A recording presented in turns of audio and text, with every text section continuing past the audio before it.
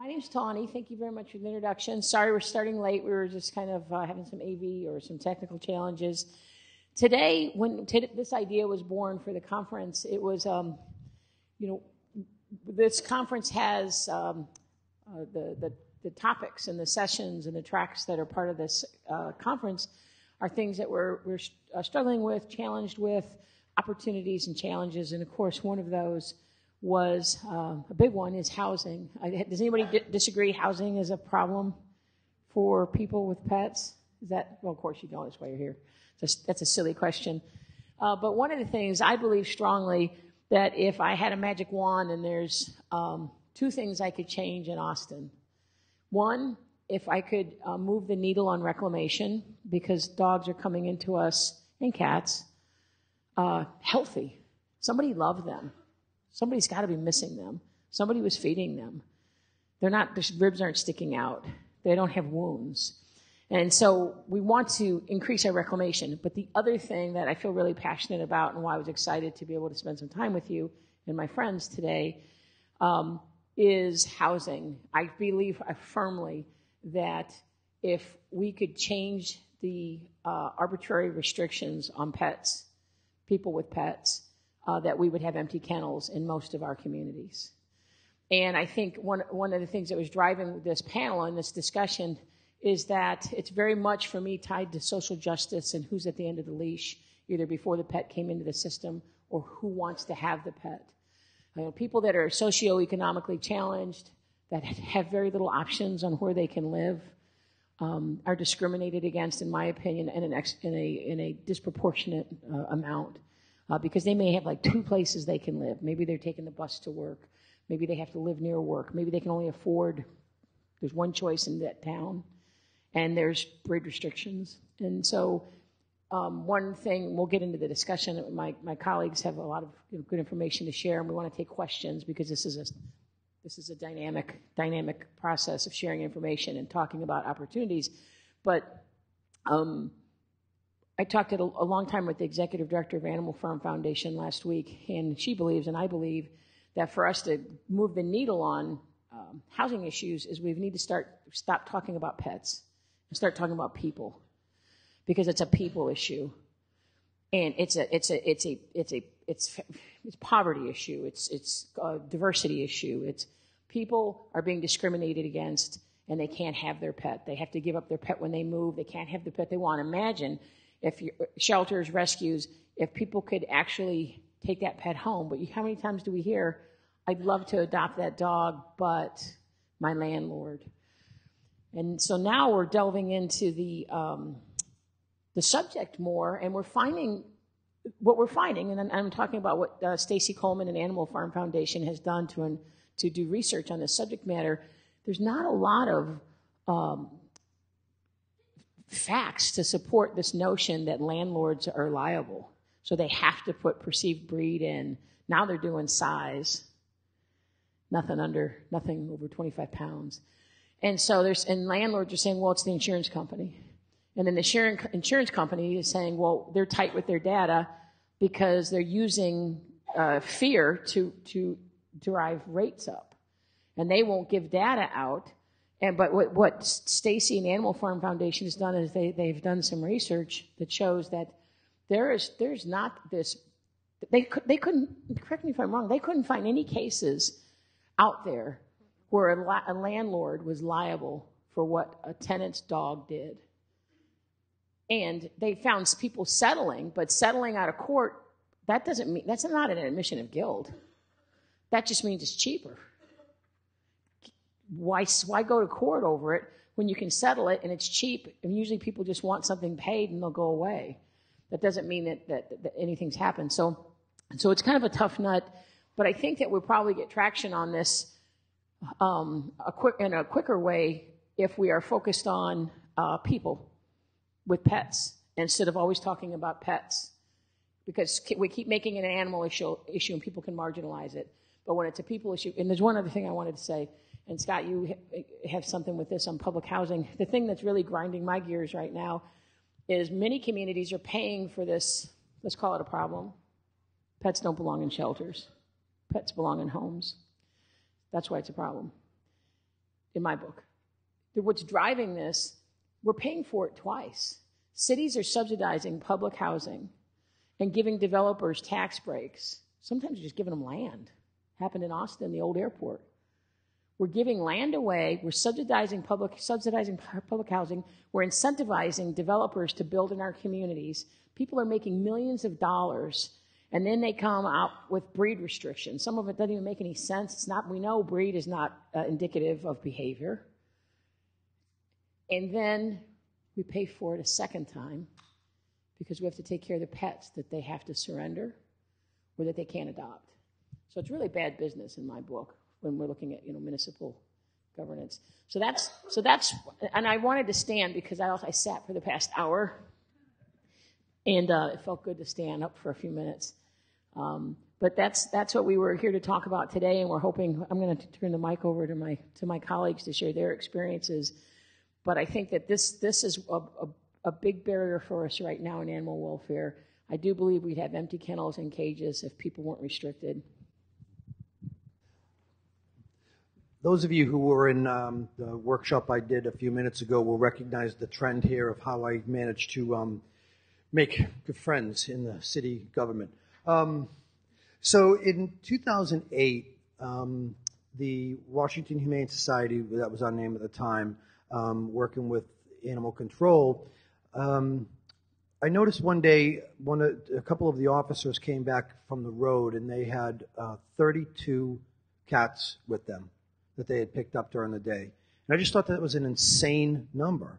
And I said to them, I said to the sergeant, I said, Sarge, where did all these cats come from? And he said, Oh, housing police did a sweep. And I said, What does that mean? And he said, Once or twice a year, without any type of um, uh, uh, warning, they go to the development and they go through every apartment to make sure that they don't have pets. And if they have pets, um, we are forced to take them. I was, once I was able to speak, um, I was mortified at that. And I um, started realizing the, the problem that DC Housing Authority had with pets. Uh, so I called up the um, the head of the housing uh, police who was doing this, and uh, you know one chief to another chief, and I, I found, you know, I asked him what was going on, and he told me that, you know, we do this so to enforce the no pet policy. And I said, okay, well, you know, my officers didn't get a copy of your warrant to remove any of them. Um, I trust you wouldn't remove someone's property without a search warrant. Well uh, uh, uh um, um, you know, we, we, really don't need a, a search warrant. I was like, well, okay, so you have consent to take them because my officers don't have any paperwork saying that they authorize removal of the animal. Well, uh, uh, well, they don't have a choice because they can get evicted if they have pets. Well, that's not really our problem um, if they are in violation of a pet policy. And by the way, what is the pet policy? Oh, there's no pet policy. There's no, no pets allowed in DC Housing Authority whatsoever. Like, huh. Okay. Well, you should know right now that we will never, ever do this again. So you can stop doing these because we're not going to be there to remove the animals. That will never happen again. And I need to look further into this. And those of you who um, may be aware, there's a federal law uh, and uh, federal housing. You know, any anyone who's accepting money from HUD, anyone elderly or disabled, they have to be allowed to have pets. And DC Housing Authority had been um, violating this law for decades. And violating people's constitutional rights by just entering their apartment and removing animals. Uh, so I, I, teamed up with a good friend of mine over at the uh, American SPCA, the ASPCA, and we set the task to see what we could do about this because they were violating federal law. And we started off well. We wrote them a letter saying, hey, we realize that you, we recognize you're in federal violation. Um, we're willing to work with you to implement a responsible pet policy. Um, after we had to send that same letter a couple of times, uh, we finally got a response saying, "Yeah, let's let's let's talk a little bit about it. Send us your thoughts." So we sent them a model pet policy, and we never heard back from them. Uh, and then finally, we got to the executive director of the of the, the, the department, who said, Well, there, we, there's loopholes, and we don't have to allow pets. We don't have to allow pets of any kind. So we, knowing that that wasn't right, we wrote, we, we started trying to get HUD involved, um, the U.S. Federal Housing Urban Development. We started to get them involved, and they were not, you know, jumping up and down to help us with this. So we decided that our only option would then be um, litigation, and we started talking to some of the residents. We tried to find some uh, some people that had been uh, adversely affected by this policy, whether it be uh, for um, dis- disabilities, uh, not, not being allowed to have a pet. So we started putting a group of people together. We got some lawyers together, some pro bono lawyers, and the, um, the media found out about it and did a story on it. And the local uh, Washington City paper did a story on it. And the next thing you know, HUD sends a letter to uh, DC Housing Authority saying, after careful review, you are in violation. You have 60 days to change this. And we went out and we celebrated. We had a great, you know, we thought that this was it. And we met with HUD. We had some meetings with, um, with DC Housing Authority. And we agreed to work with them. We, we helped them with a policy. Um, we said, you, you will get 100,000% support and assistance from us. We have a couple of conditions. One, you cannot restrict based on breed. And two, you cannot restrict on weight, because that was really common in a lot of places. Dogs over 30 pounds or whatever are, are not allowed. And they agreed to that.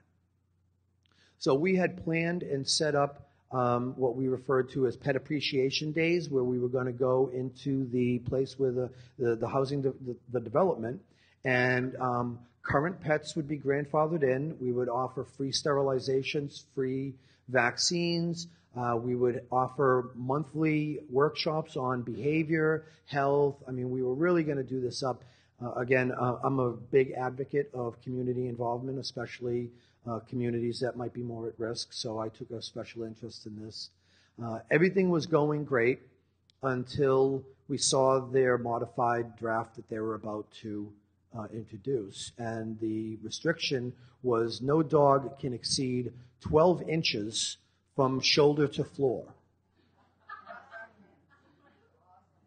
So they uh, they kept their part of the bargain. They didn't restrict on breed or weight, and they put a size restriction on it.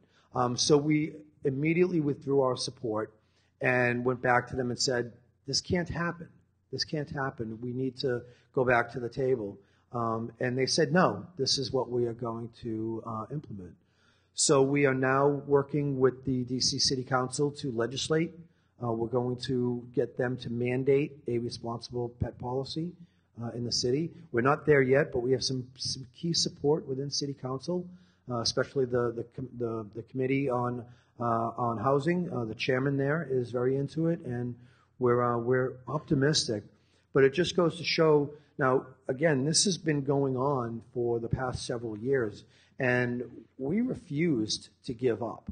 We would not take no for an answer. We would not just let it go to the wayside like a lot of things too often do.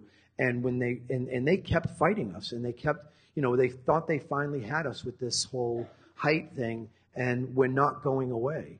And if you can take anything from the comments that I have, that should be it. Don't ever give up. Don't ever lessen your standards. Just go head first, kicking down doors and taking names. I almost, I know we're being taped. I almost said a different word, but um, kick butt. Um, and and um, it can be done. You just have to keep fighting. Thank you, Scott. Um, good afternoon. Um, I'm Lindsey with Love-A-Bull. Um, first, I want to kind of see who's in our audience. anyone, like I guess, uh, shelter works at a shelter? Awesome. Um, and then what about legal? Anyone in legal? Lawyers? All right, cool. We need y'all. Um, and then uh, who am I missing? Um, yeah, we got shelters. Uh, well, rescues, sorry, rescues and shelters. Awesome, awesome. Well, I'm so glad y'all are here today. Um, this is um, definitely a topic that um, Love-A-Bull um, really, really backs and tries to um, educate and get the word out about Um, so one of the things that I wanted to speak about is um, the tools that you can use in your community. Um, for before I forget, I did place a lot of um, brochures and, and things out on the table. So before you leave, please feel free to to grab some of that. Yes, I, I will say our Love-A-Bull mission statement is dedicated to promoting responsible uh, guardianship and improving the image and lives of pit bull type dogs through community support, education, advocacy, and rescue.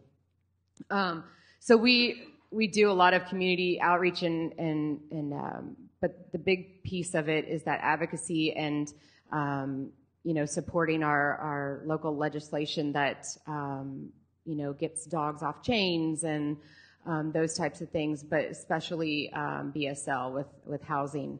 Um, so some of the things that, um, as you probably know, is that BSL, um, which can be a ban or a restriction, um, has taken place in states nationally, and there are no scientific research or evidence that shows that any of that works. None.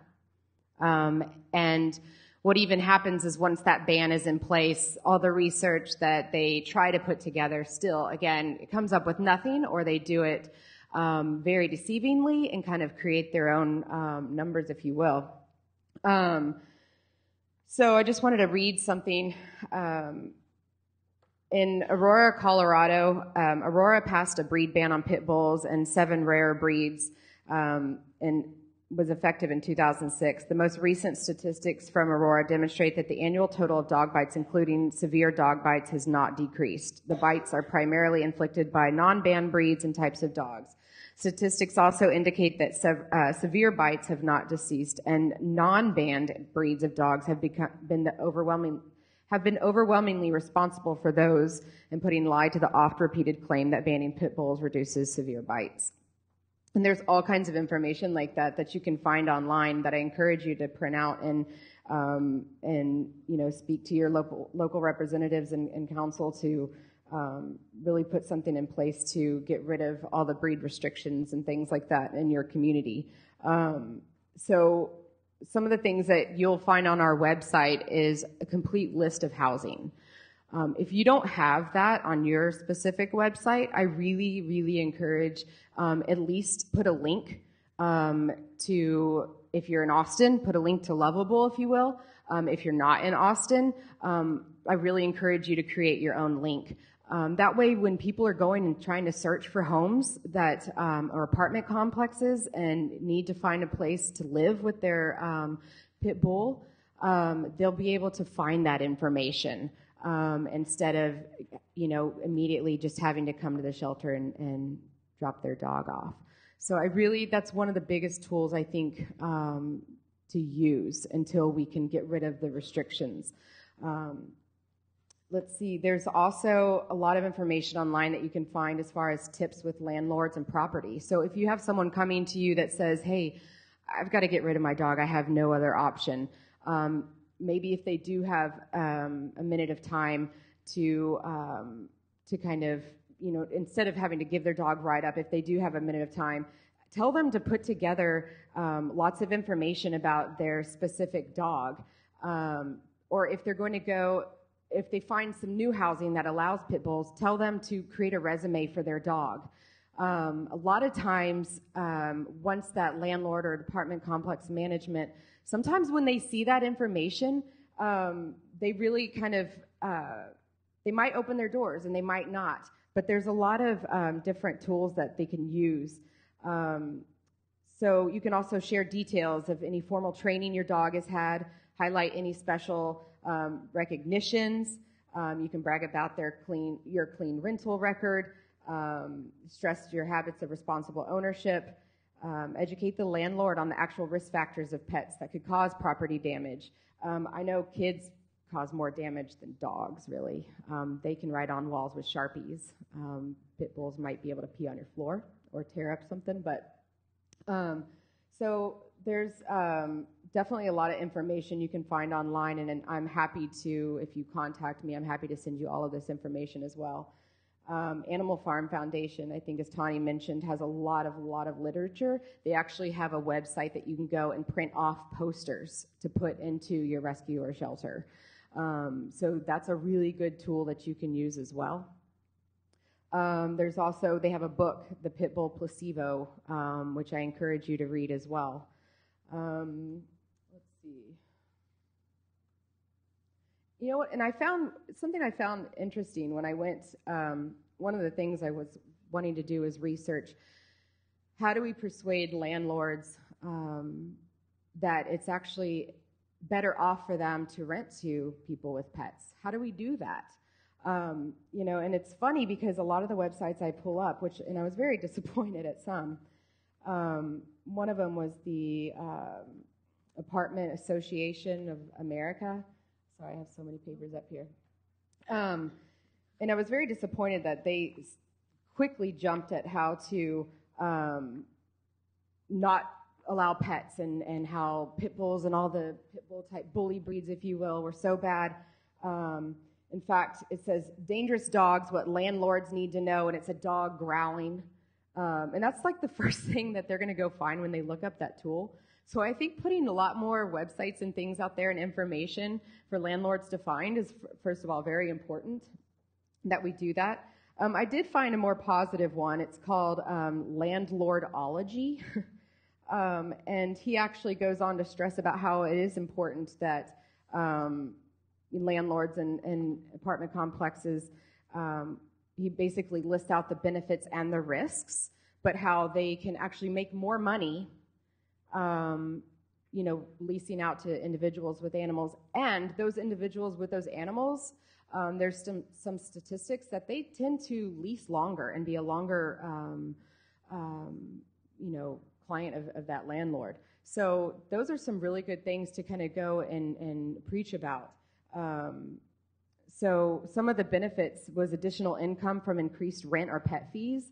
Um, you'll get a larger pool of tenants to choose from, and increased tenant enjoyment because of FIDO. Tenants with animals seem to sign longer leases, like I just stated. Um, they can also landlords can also do things like maybe just require spay and neuter. They can put their they can put certain things that if they make it makes them feel more comfortable. Um, some of more restrictions, but not as far as breed and size and those kind of things. Um, yeah, I think that's, I mean, that's mainly, those are some of the tools that I really, I wanted to talk about. Um, one, one other thing I wanted to mention too is um, when I when I do um, the presentation on breed and language, uh, one thing that we really harp on is uh, our our the habit we have in shelters and rescues of labeling dogs and guessing on breed, and we feel that's our responsibility even though we're always wrong. And so by, by insisting on, on labeling that the public wants that, which they don't, they, they, they don't know it. They're not in our shelter every day like us. When they come to adopt, they're not going to go, where are the labels? They may say, what kind of dog is that? Or I'm looking for a lab. And so these are amazing uh, opportunities to find out a little bit about a little bit more about them and what they're looking for to add to their family. But when we label the cards, not only are they not getting to know the dog, and they just you can see how many of you see them walking down the kennels, just reading the card and they keep moving, never stopping to get to know the dog. But the worst, the worst part of us guessing and labeling on kennel cards is we're doing the discrimination for the landlords ahead of time. We're helping people making millions of dollars. We're guessing, right? We're supposed to guess. The public looks at us as the experts, even though we're wrong. So really, we're faking and we're dishonest. We're saying, well, it looks like this. Particularly, what cracks me up is mixes. I think Kristen and I are presenting on uh, this issue either today or tomorrow. This topic, breed labeling and language. And even though we're guessing and we're wrong, we still think we're being transparent and doing the public a service. But one thing we are doing is we're making the landlord's job easier.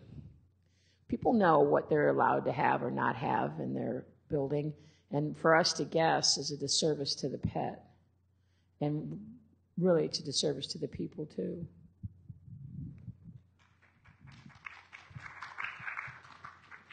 One of the one of the uh, issues that we deal with very often is we are right on the line with uh, Prince George's County, Maryland.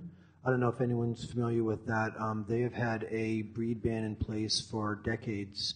Um, even when their own uh, city government uh, did a um, some sort of commission to evaluate the effectiveness of the breed ban, they came back and says, yeah, they say, come back and said, yeah, it doesn't work. Let's repeal it. And the city still hasn't.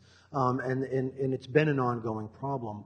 One of the things that we do is um, we get a lot of adopters from PG County. And when they come in, if the dog um, fits that bully look, um, and the, we're worried about sending them into PG County, is we will send an email to the animal control unit in PG County with a picture of the dog, um, the lab mix or the boxer mix or whatever um, type of dog that they're looking at. We will send a couple of pictures and ask if does this qualify for your ban.